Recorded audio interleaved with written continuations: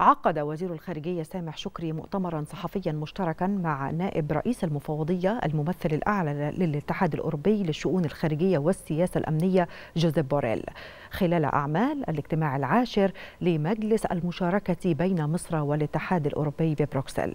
شدد شكري على أن هناك اتفاق عمل مع أوروبا لمواجهة الهجرة غير الشرعية.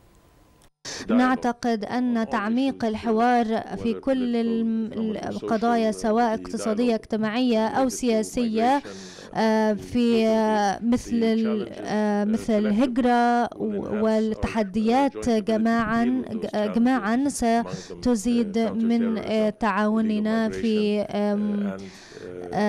في التعامل مع مشاكل مثل بناء القدرات ومحاربة التهجير الهجرة غير الشرعية.